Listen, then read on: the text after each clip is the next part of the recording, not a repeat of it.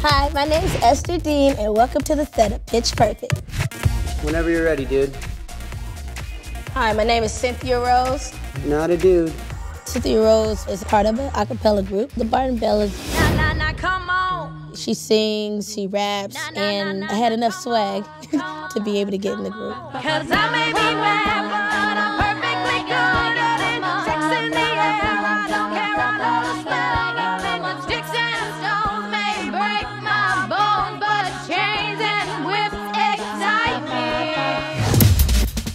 Ester Dean is one of the most incredibly talented people that I've ever been around. She's an incredible songwriter and performer. She wrote a thousand songs that people would know. So Ester was able to bring a real authentic music performance to the movie. It's not about the money, money, money. We don't need your money, money, money. We just wanna make the world dance. Forget about the price tag. We're at base camp of Pitch Perfect, first movie ever.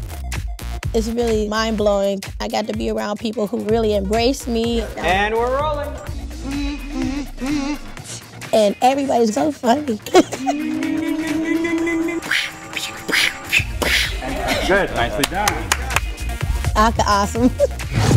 Rebel Wilson, she's Pepper, I'm Salt. We're breaking away from the Bellas and starting Yep. a new group. And we're gonna have backup dancers. Yeah, you know, gonna have some beats. Mad beat. Yeah, you know what I'm saying? We're gonna Shoo-ba-doo-ba-doo. Hey, hey.